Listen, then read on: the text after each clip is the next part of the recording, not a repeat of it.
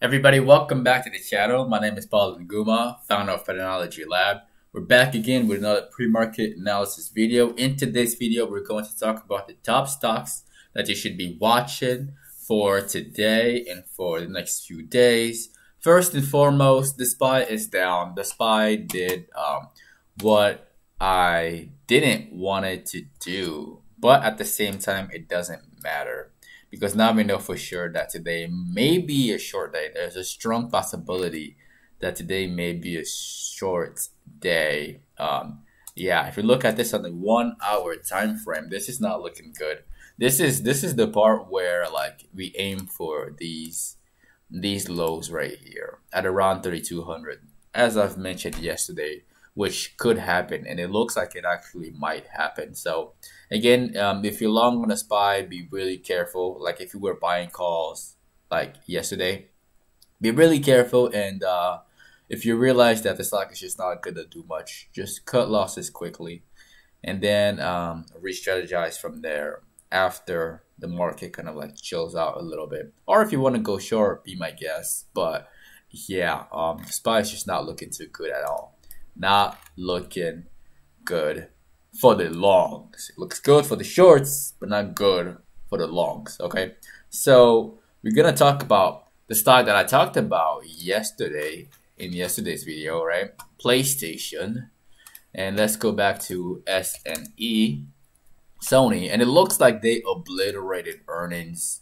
and they're up by a lot and they're opening up at $81 and yeah my price target is the same a slight pullback would be healthy for the stock given the fact that um the SPY is red right now just a slight pullback back down to like $79 and then just a uh, continuation all the way up to the price target up here which I've talked about in yesterday's video um, I'm not changing the price target the price target is the same the stock is doing great. Earnings went well.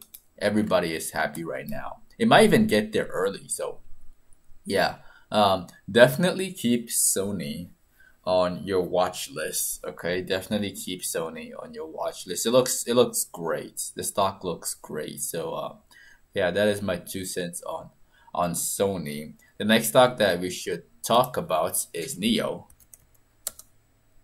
There we go. Okay, NIO looks like it's pulling back a bit.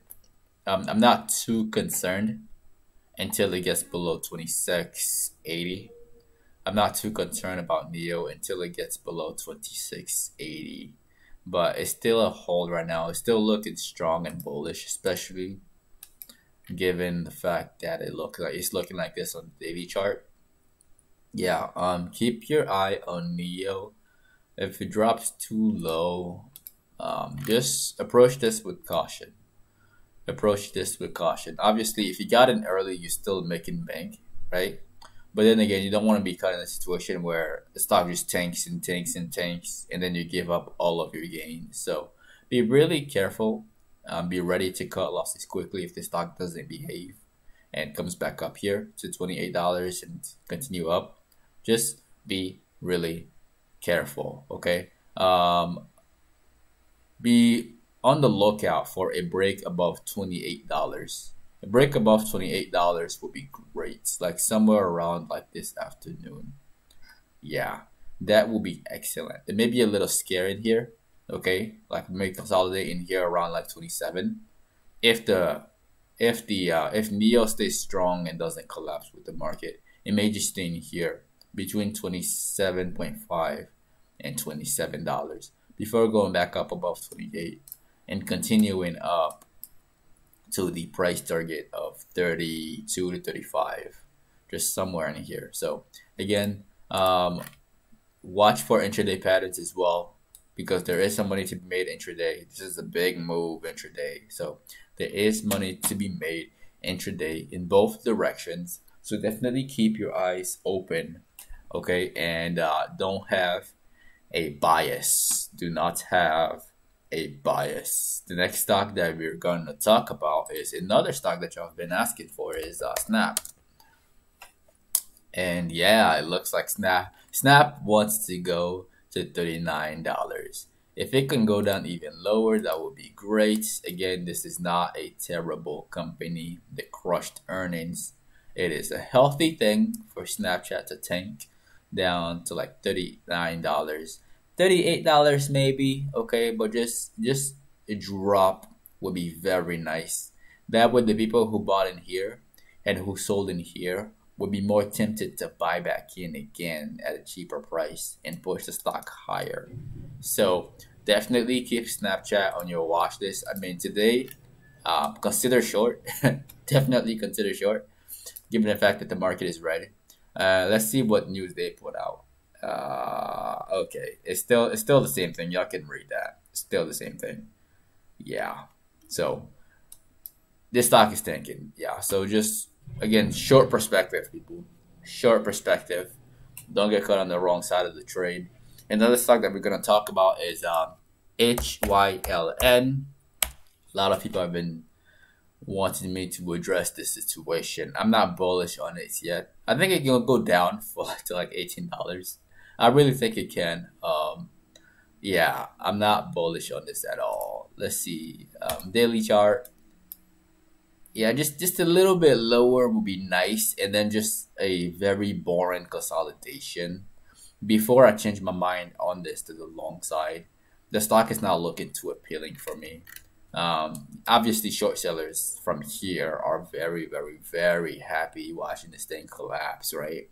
So, again, just uh, keep this in the watch this probably for like a week or two. But right now, I'm not touching. The, I'm not touching the stock at all. Like I don't, I don't find any any reward in like any direction right now nothing is obvious regarding the stock right now, so I'm not gonna touch it at all. The next stock that um, I'm gonna follow up on is PACB.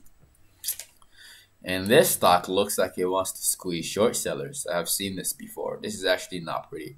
Um, if the stock doesn't tank, like like if today is not such a terrible red day and the stock doesn't drop to like twelve dollars, like everybody in here could be squeezed on the way up to like twenty dollars. And plus, they have earnings around the corner, so watch out.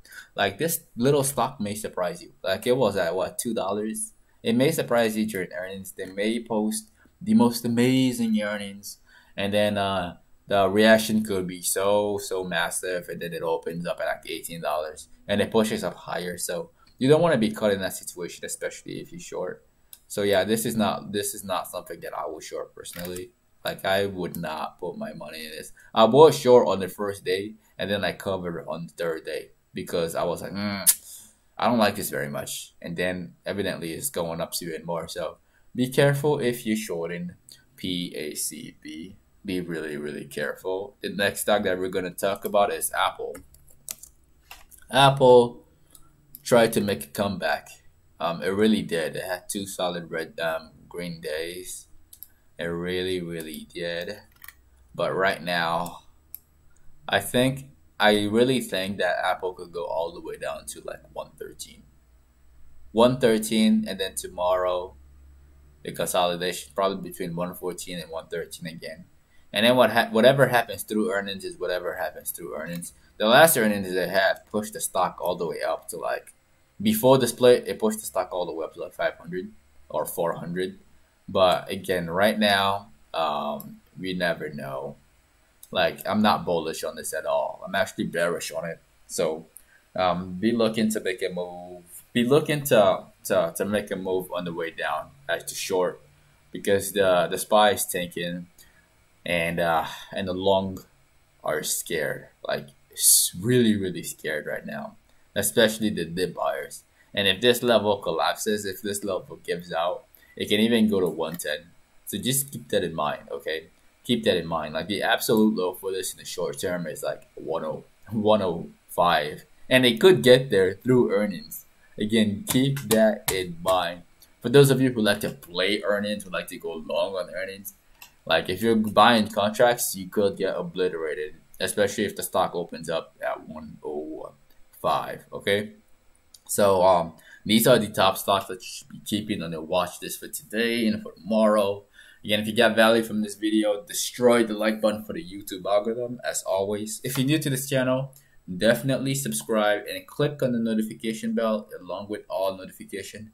That way you get notified whenever I post these pre-market videos which are 15 minutes before the market opens and the post-market videos that I do post between 7 p.m. and 8 p.m. Central Time in the afternoon. If you're not following us on social media, you can find me at Paul N'Gumah and at Patternology Lab on Instagram and on Twitter. If you are a beginner looking to get started in the stock market and looking to have access to this amazing tool called Thinkorswim, I left the, the directions in the description of the video below. It's only four little steps and it takes only 15 minutes to get set up with everything. You can also get two free stocks with Webull using the link below after you register, and also one free stock with Robinhood using the link below after you register. Once again, my name is Paul N'Gumah with Patternology Lab, where we trade patterns and patterns only. And I'm gonna see all of you this afternoon. Do not get caught on the wrong side of the trade. Today may be a short day. It really, really may be a short day. So keep your eyes open, okay? Be really careful out there.